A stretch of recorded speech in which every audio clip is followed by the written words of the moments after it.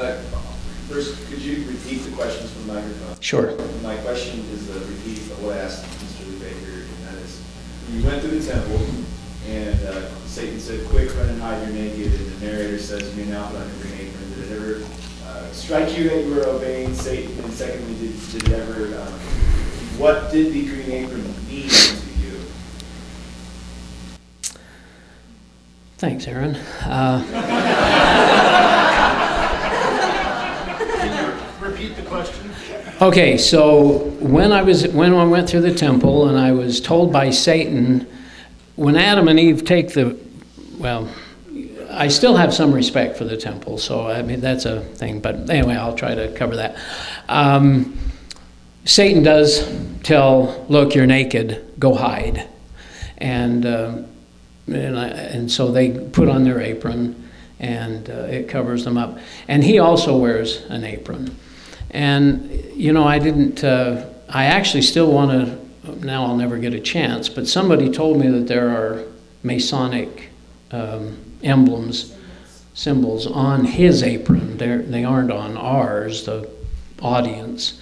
Ours are fig leaves, but um, you know, fam. I've heard others say this too. Family sitting there, everybody's doing it. Your great aunt, your grandma, they've been through this many, many, many, many times. You just say, you know, I don't understand it, but I'm I'm going with it. I'll I'll eventually understand it when I need to. You're, you're trying so hard to listen to everything and memorize everything so that you can pass by the angels with these symbols and all this kind of stuff. I never even ever even entered my mind that Satan was doing the ordering. That's how silly that is. I wasn't actually. Did you? You know, I, I, it wasn't like okay, say he's just a. I mean, he's not commanding them, but he's advising them, which is kind of strange, isn't it? That we would. that he would even be there in the first place. That always bothered me that, that he was even represented there. And he has these strange discussions with God um, in the temple. But yeah. Is it commonly taught in the wards that Jesus was in fact married? Is it taught that Jesus was in fact married? You know, in, in a normal, no. No, in fact, I, I, I probably, uh, no, I would, I would say no. When dealing with non-members, when you were a member, and just the whole idea of deification, that you would become a god, did that ever strike you as having to tell it, or if you ever did tell it to someone else, is just strange blasphemous or weird or something that, not just with Christians, but the, that the culture at large just is like, Was it weird to ever discuss the fact that we could become gods? Is that basically your if it ever question? up, yeah. Yeah, it- it's part of the logic. We lived with God before, we lived with Him forever, and there was a final, somewhere we came along and said, you know, God, we want to be like you. You have a body, you have a, I guess you have a lot of wives, and we want to be like you. So how do we do that? And that, that's when the earth's created, we're given bodies, we come down here, and we go through that process to become a God, to become like our Father in heaven. So, no, that was logical. Satan was our brother, Jesus was our brother, and uh, he just came forward and offered himself as a sacrifice and that kind of stuff. So, yeah, it, uh, that was just very normal, a part of the logic. Yes, back there? You. I haven't left the church officially because I want to try and reach my Mormon friends. And if I do leave the church officially, it won't be quietly. It'll probably be giving a testimony, testimony Sunday, and then I'll be taking the court, and then I'll be shouting, asking questions. Well- You come to more harmony good, stay in, having my name on it. Well, I, oh, six, so the comment basically is, well, I'm still a member of the church, will it, uh, so that I can work from within. Once I come out, they'll know for sure. Um, and is it, am I going to do more harm than good by staying in? I will say one thing, and it's just interesting, and I, I wanted to share this actually, and I wasn't sure about time, but Carla's sister. What's that? Okay. Well, um, for those that are ready, okay. Anyway, those are ready to go don't, uh, okay. So Carla's sister, she has just the one sister and she's lost her parents, so they're very close. And Carla's sister just went totally upset at Carla and me. We tried to share with her the details of what we found, and she just was so upset. And uh, I'll try to remember the point I'm making here. I keep getting these Alzheimer moments, but um, so within the last few weeks, last month or two, she comes to us and says, "Earl, we need to talk again." and so she sat down, and all of a sudden, we could see that her eyes are open. She's been listen. She's been thinking, praying, whatever's happened. We can't really get a still a straight answer about that. She started reading the New Testament. Anyway, praise God, she's been born again. And uh, this whole this whole year has been a battle, and I just was so upset because they're so close, and all of a sudden. Her eyes are open, and she's a new creature, just like I was and Carla was. She's new in Christ. She sees things. She can't get enough of the Bible. She's praising God, and so on and so on. And it's just it's a it's such a distinct difference that you just for those of you I'm sure most of you have experienced it. Your life is just not the same, and you can't go back. And so we praise God that uh, Carla's sister's done that. Now we're still hoping for our kids to do that. But my reason for bringing that up is because uh, the son that I have that's in a bishopric, his wife's also a returned missionary, very much, very true Mormon. And they've always felt like Carla's sister was an ally and someone that was there still with them. And my son, who has been asking questions, and I think we're making a little headway there, he tells his wife one day that Carla's sister has uh, had her eyes open, or whatever he said to her. And he said to her, or he said to me, you could just see the wall go up. The difference of the concept, or the, well, not concept, but the feelings that his wife had for Carla's sister one minute was completely different than she had the next minute when she found out that she had now found Christ, or whatever words he said to her. So, to answer your question, as soon as you raise the issue that you are no longer believing as they believe, the wall will go up and they will not listen. So, if, I would leave that to God in your heart. If you feel like you can do some good work and witness inside the church, I supp- and if you can sit through the meetings. okay. They know I'm out. Okay. They still visit. Okay. Well, it's an interesting thing, and, and it is so distinct when, when a person becomes a new creature, especially out of Mormonism. Hand back, way back there, the last row. The, the gentleman, and then you. Do you ever feel um, jealousy towards Jesus Christ because God the Father chose His plan instead of? You know, somebody actually said that on my uh, on the the X Files. They actually said that they felt Jesus. They were upset that they weren't the one chosen. I guess I, I did think in my own mind. I wish I had been chosen, and I would have done it. So jealous, no, but uh, I certainly didn't revere him as God. I just uh, he was just first in line, and happened to be the one got picked in the Mormon Church.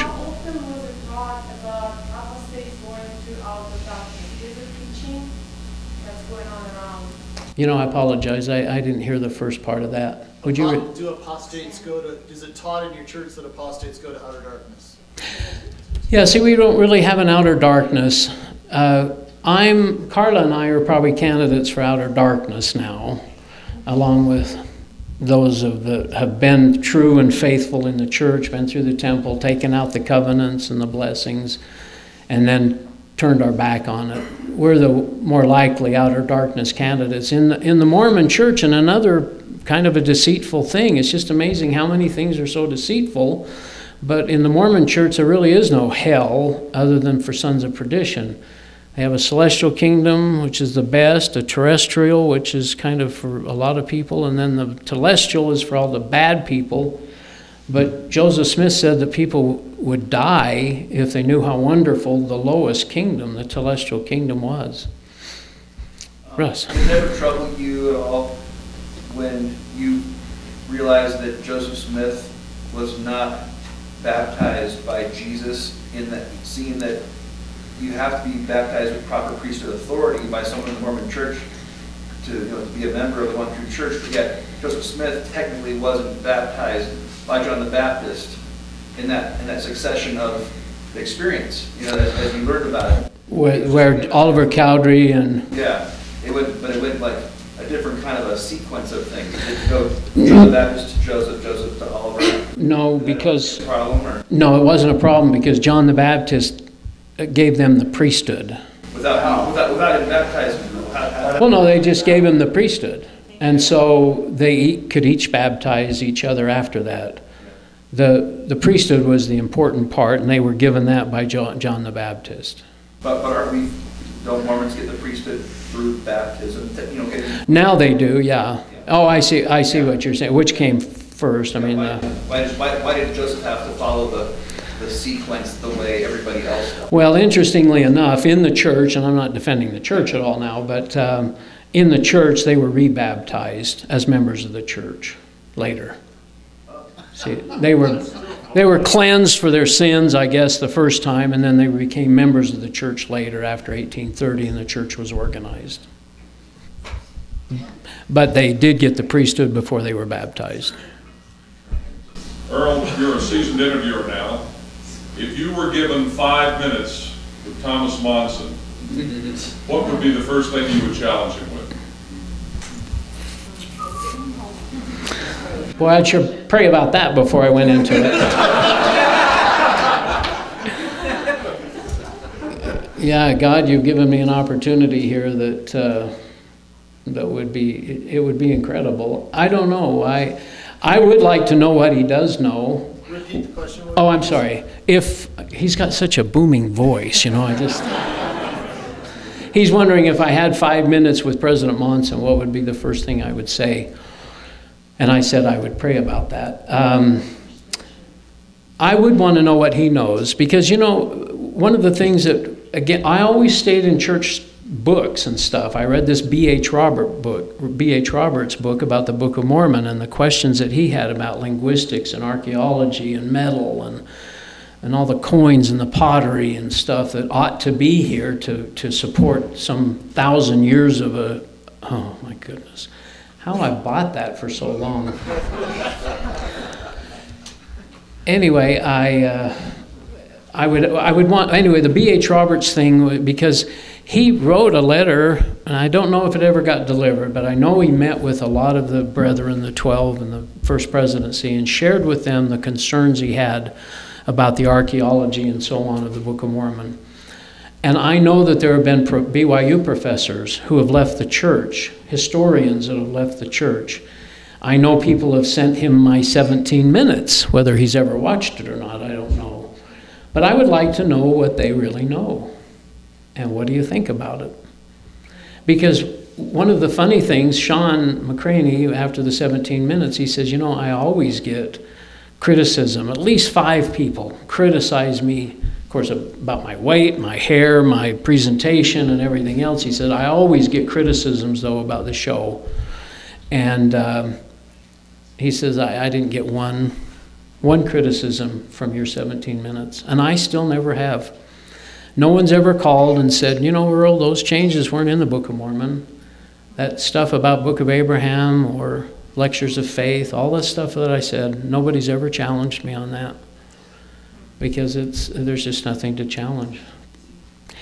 You must have something to say. Actually, no, I've been asked to come up here. Thank you. Oh, for Um, questions. So I'm here, but I You want. did have a comment. Well, I or wanted you to tell him about the historian that you met with. Oh. Yeah, I did meet with the church. In fact, w- w- before that, we also met with a, um, a a friend that's an institute director. We met with him for three weeks in a row and asked him about the Book of Mormon, about the first vision, and the Book of Abraham. And he added nothing to what I knew. It was, again, nothing that he could really say, and I mean, it had been the way it was. Anyway, so I also had an opportunity to meet with a church historian and talk to him, and his comment was that I know this stuff and I put it on a shelf. He said, I know, I said, but when you bear your testimony, these people, they may not have studied, but they assume you have, and they know you have a testimony. And so when you say something, they're, uh, they're relying on what you've studied, and what you, your faith and your conviction. And he said, I know what I'm supposed to say, and I know what they want to hear.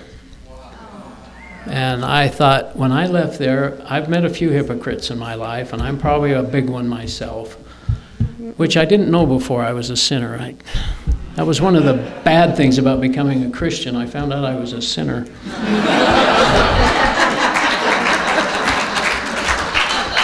Uh, I need to tell you. But, but just a sec, th- th- but the his, but the historian, but the historian, when I left there, I, I've never felt quite like, my goodness, what, what must God think of a person who can actually look at black and call it white? You know, I just really, that really bothered me. I just wanted to say that Earl was a very humble LDS person. I know, I mean, we were proud in the sense we thought we had the truth and we wanted everybody else to have it too, but Earl was not a prideful Mormon, and he feels now like he was, but uh, we were just trying to do our best. But one of his big things in his life has always been to tell the truth and not to be a hypocrite. And I think that played a big part in his leaving. And um, this uh, church historian pretty much Yeah. might have been, well, I think Earl was past that, but he was definitely the, if he wasn't the nail in the coffin, he was all the dirt.